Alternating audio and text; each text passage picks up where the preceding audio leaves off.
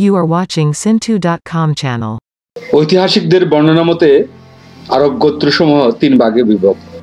আরব বারেবা, আরব আবেরা, আরব মুস্তারেবা। আরব বারেবা, আরবে সেই সব প্রাচীন গোত্র বা সম্প্রদায়, যা সম্পূর্ণরূপে বিলীন হয়ে গেছে, যাদের সম্পর্কে প্রয়োজনীয় তথ্যবলী এখন আর জানা যায় না। তারাই আরব বারেবা নামে পরিচিত। যেমন আত সামুদ তাসাম, জাদিস, আমালিকা প্রভুত সম্প্রদায়।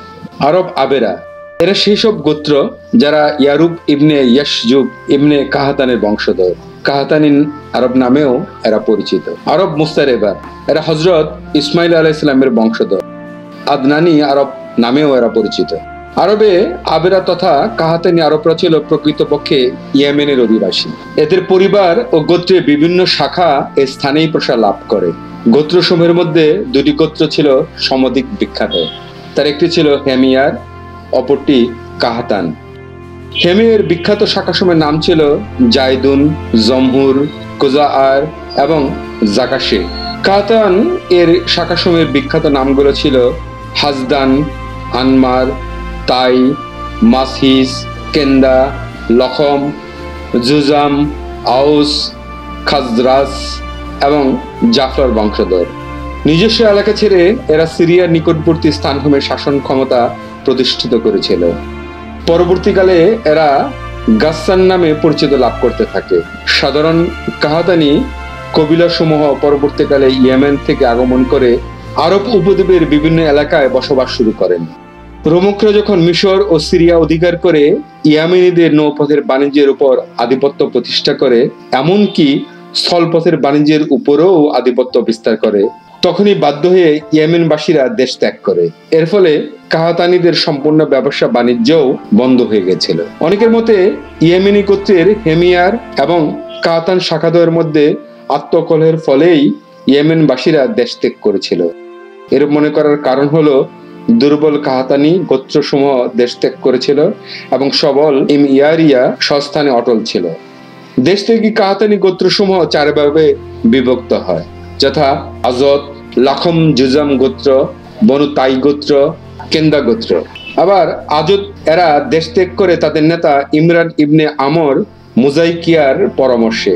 প্রথমে এরা ইয়েমেনে এক স্থান থেকে অন্য স্থানে স্থানান্তরিত হয়ে অবস্থা সম্পর্কে অনুসন্ধানের জন্য বিভিন্ন দল প্রেরণ করতে থাকে। এরপর উত্তর দিকে অগ্রসর হয়ে বিভিন্ন স্থানে বিচ্ছিন্নভাবে বসবাস শুরু করে। এদের বিবরণ নিম্নরূপ।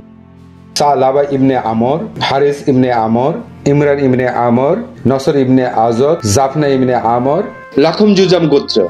লাখমের খানদানের মধ্যে এক ব্যক্তি ছিলেন নসর ইবনে রবিয়া। তিনি আলে মঞ্জের তথা হীরার শাসনকর্তাদের পূর্বপুরুষ ছিলেন। বনুতাই গোত্র, এ গোত্র বনু আজদের দেশ ত্যাগের পর উত্তর দিকে গমন করে আজা এবং সাল্লা নামক দুটি পাহাড়ের মধ্যস্থলে অবস্থান করে। এই গোত্রের বসবাসের কারণে পাহাড় দুটি বিখ্যাত হয়ে ওঠে। কেন্দা গোত্র।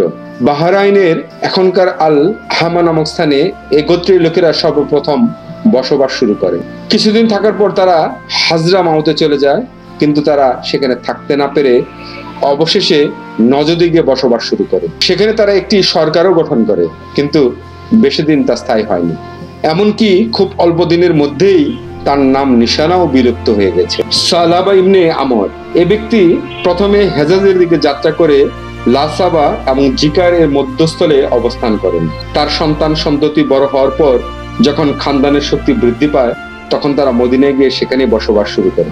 এ সালাবা খানদানেই আউস এবং খাজরাজের জন্ম হয়। এরা উভয় ছিল সালাবার পুত্র হারেজার সন্তান। হারেস ইবনে আমর, ইনি ছিলেন খোজা আর পুত্র।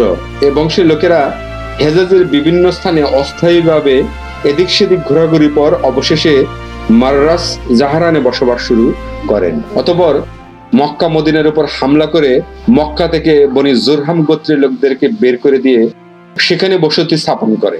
ইমরান ইবনে আমর ইনি স্বীয় সন্তানদের নিয়ে আম্মানে বসবাস আরম্ভ করেন। এ কারণে এরা পরবর্তীতে আজদে আম্মানি নামে পরিচিত লাভ করেছে। এর সাথে সম্পৃক্ত গোত্রসমূহ তোহামায় বসবাস করে।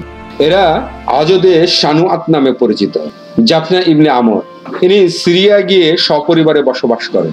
তিনি ছিলেন গাসসানি শাসকদের প্রপিতামহ। সিরিয়া যাওয়ার পূর্বে এরা হেজাজে গাসান নামক একটি পানির কূপের নিকট কিছুদিন বসবাস করেন। হেমিয়ারের কাহাতান ছাড়া কাজার আ নামক আরও একটি গোত্র ছিল। অনেকের মতে তারা তার অপর নাম ছিল হেমেরি। তবে সকলে তা স্বীকার করেন না। এরা ইয়েমেন থেকে ইরাক চলে গিয়ে সেখানকার বাদিয়াতুস সামাওয়াতে বসবাস শুরু করে। আরবে মুস্তারেবাদের পূর্বপুরুষ ছিলেন নবী হজরত ইব্রাহিম আলাইসাল্লাম মূলত তিনি ইরাকের উৎসরে অধিবাসী। এই শহরটি ফুরাত নদীর উপকূলস্থ কুফা রোদের অবস্থিত। ফুরাত নদী খননকালে নির্দেশন সমূহ থেকে এই শহর সংক্রান্ত বহু তথ্য জানা গেছে। হজরত ইব্রাহিম আলাহ ইসলামের পারিবারিক বিষয় ও শহরের অধিবাসী এবং তাদের ধর্ম বিশ্বাস সম্পর্কেও নানা তথ্য এর দ্বারা উদ্ঘাটিত হয়েছিল। বন্ধুগণ, এই সেই ফুরাত নদী যার সম্পর্কে রসুল সাল্লাহ প্রায় পনেরোশো বছর আগে বলে গিয়েছিলেন যে এখানে স্বর্ণের পাহাড় বেশি উঠবে। বন্ধুগণ, আজ এই পর্যন্তই। আশা করি আরব গোত্র সমূহ কি কারণে বিভক্ত হয়েছিল এবং কয়টি ভাগে বিভক্ত হয়েছিল এবং তাদের বংশধররা কীভাবে বসবাস শুরু করেন, সে সম্পর্কে আপনাদের একটি সম্যক ধারণা দিতে পেরেছি। আশা করি সঙ্গে থাকবেন। আরব এবং ইসলাম সম্পর্কে আরও ধারাবাহিকভাবে বিভিন্ন কন্টেন্ট তৈরি করার সদিচ্ছা আছে। সকলে পাশে থেকে উৎসাহ প্রদান করবেন।